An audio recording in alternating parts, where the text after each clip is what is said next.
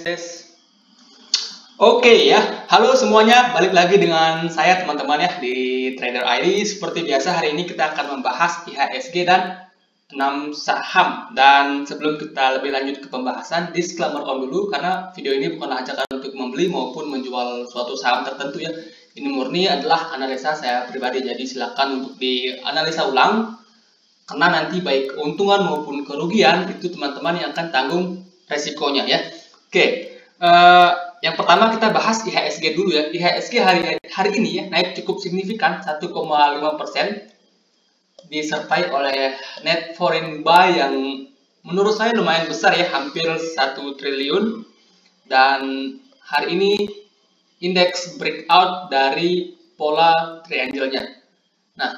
Mudah-mudahan ya, mudah-mudahan indeks itu tetap mampu bertahan di atas 6700. Kalau indeks tetap mampu bertahan di atas 6700 uh, potensi indeks menurut saya akan ke 6.900 bahkan ke 7.000 ya.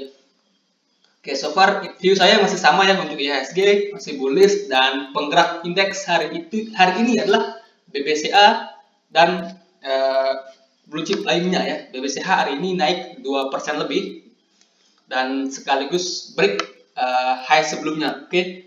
Jadi indeks kalau seperti ini menurut saya indeks menarik ya, menarik dengan catatan indeks harus bertahan di atas 6700. Kalau indeks uh, mampu bertahan di atas 6700, potensi indeks akan lanjut rally ya. Oke, itu untuk IHSG. Kemudian saham pertama yang akan saya bahas adalah saham Amar. Nah, uh, untuk Amar ini sendiri, beberapa hari yang lalu pernah saya bahas teman-teman waktu dia arah di sini pernah saya bahas dan saya sarankan saat itu untuk uh, tidak mengejar saham ini karena naiknya sudah cukup naik eh maksudnya naiknya sudah cukup kencang dan hari ini dia kembali ARB uh, sebenarnya Amar ini menurut saya masih oke okay, teman-teman. Masih oke okay dengan area buy di sini di sekitaran harga 620 jika Amar ke sini lagi ya ke sekitar harga 620 menurut saya itu work to buy ya. Strateginya gimana? Beli dia di 620 kemudian stop lossnya di bawah 600 ya. Kalau kita set trading plan ya kalau udah set trading plan ketika dia ke 620 atau mendekati 620 saya teman-teman bayar di sini trailing stopnya atau stop lossnya teman-teman bisa pasang di 590 itu sekitaran 5% kemudian rewardnya ke high nya ini. Itu di sekitaran 25% itu di angka 780 sekitaran 25% ya. Jadi risk to reward ratio masih sungguh masih menarik ya untuk saham ini jika dia mendekati harga 620. Kalau masih di harga sekarang risknya cukup tinggi, jadi uh, lebih baik tunggu dia mendekati harga 620 kalau menurut saya untuk saham Amar ini. Nah, Amar ini trennya masih bagus dan volume dia koreksi bisa dibilang belum begitu signifikan ya. Jadi Amar ini menurut saya masih oke, okay, masih work to buy. Kemudian uh, berikutnya saham BBYB.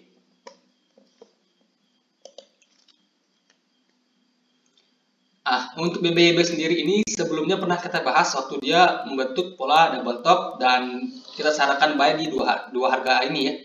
Di, pertama di 2000 ini yang sudah tersentuh hari ini sebenarnya 2040 sampai 2080 sampai ke sini. Di sekitaran harga 1800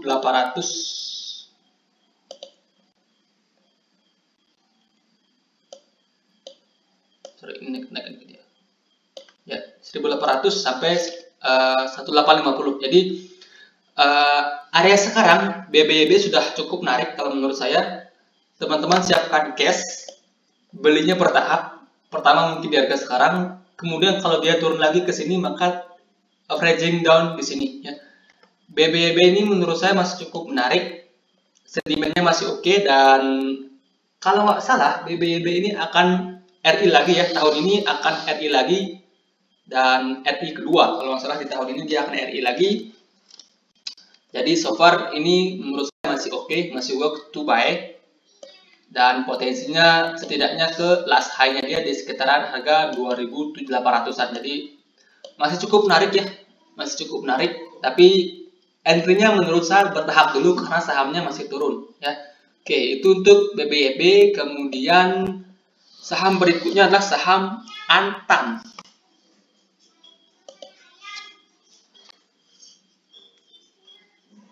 Nah, uh, Antam ya, Antam kalau teman-teman perhatikan hari ini dia naik tipis 0,52%. Nah, kalau kita lihat di candle daily teman-teman ya, candle daily Antam ini tidak terlihat apa-apa ya, tidak terlihat uh, pattern apa-apa hanya hanya apa ya?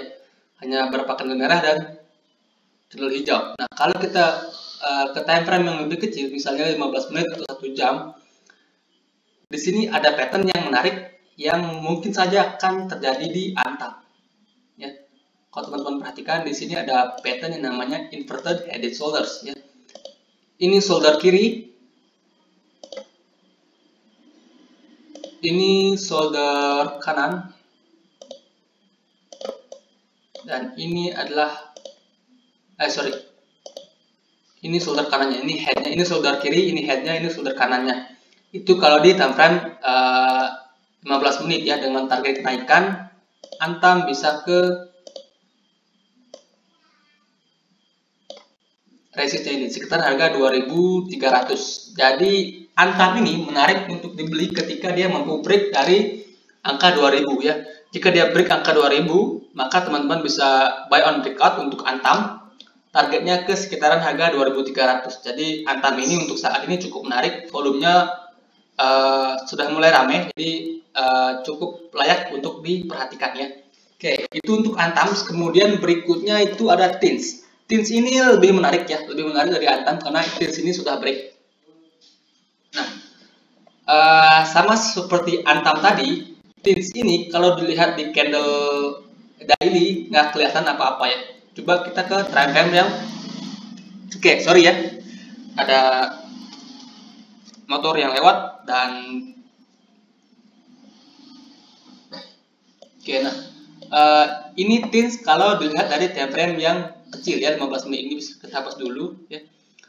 Patternnya sama seperti atam tadi. Di sini ada pattern uh, apa namanya inverted head and shoulders ya. Teman-teman perhatikan di sini ada pattern inverted head and shoulders. Uh, ini shoulder kiri.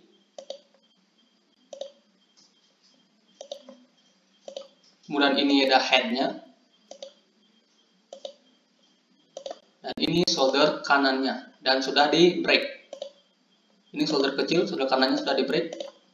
Lihat kecil gini ya. Oke di kanal satu jam terlihat lebih jelas ya.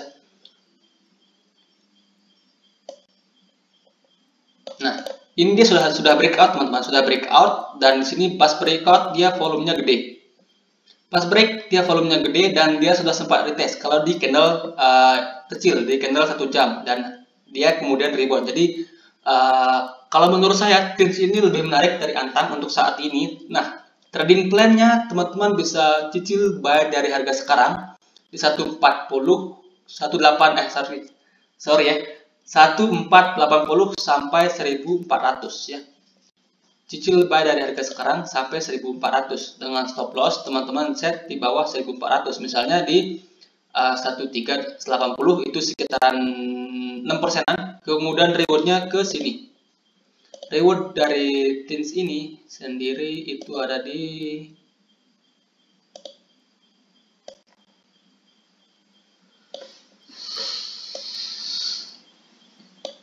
sekitaran 1600-an jadi sekitaran uh, 10% ya. Risk to ratio masih 1 banding 1,5 jadi masih cukup oke okay ya. Masih cukup oke okay untuk uh, beli tins ini tapi dicicil dengan spare spare cash sampai 1400 ya untuk cicil area cicilnya. Jadi tins ini kalau menurut saya masih oke. Okay. nah jika dia break 1600 potensinya dia akan kembali ke sekitaran 1760 dan jika ya jika nantinya 1760 ini di break lagi, maka potensinya itu rally jauh teman-teman ya.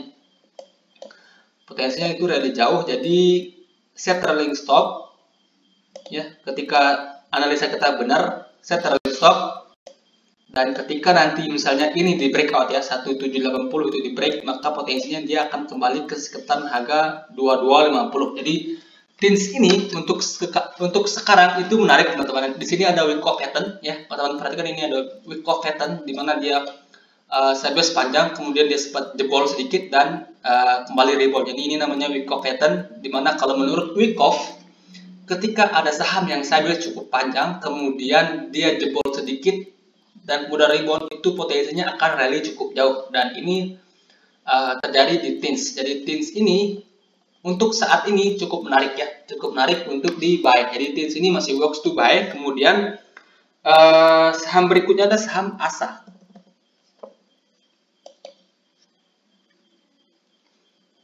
Nah, untuk ASA ya, untuk ASA pembahasan terakhir kita untuk sarankan beli ASA ketika dia break dari patternnya ini atau tunggu ASA di sini di sekitaran harga 3100 sampai 3150. Nah, ASA sendiri dia sudah mendekati area buy kita di uh, supportnya.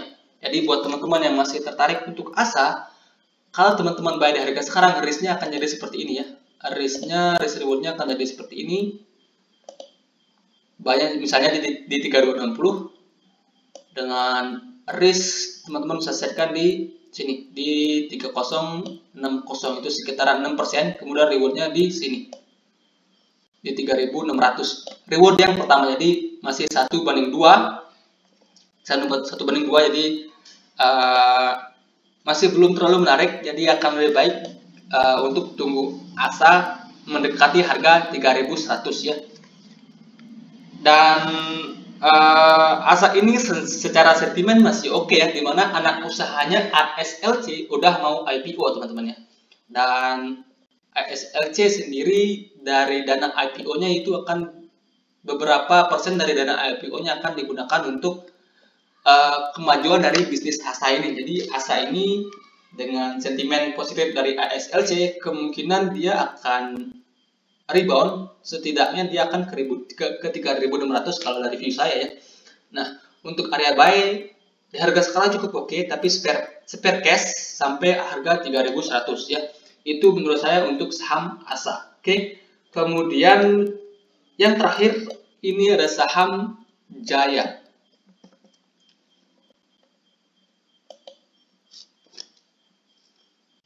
Hmm, Jaya ini kalau menurut saya kurang menarik ya.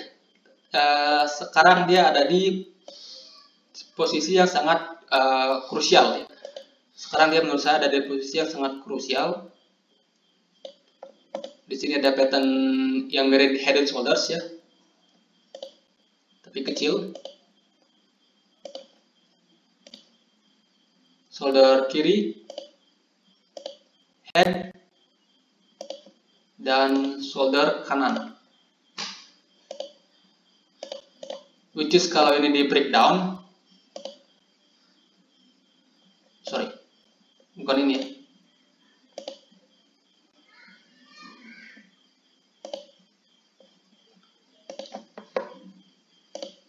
Ya, jadi kalau ini di breakdown ada potensi dari Jaya itu turun cukup dalam ya.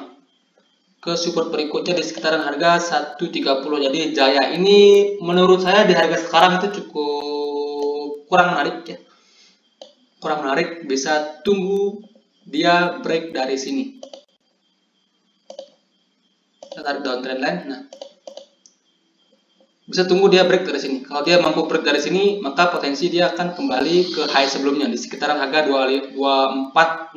Jadi untuk Jaya ya di harga sekarang itu uh, kurang menarik. Jika dia turun lagi besok membuat lower low, maka potensinya dia akan ke sekitaran 130 dari patternnya ini. Jadi untuk Jaya sebaiknya skip dulu ya.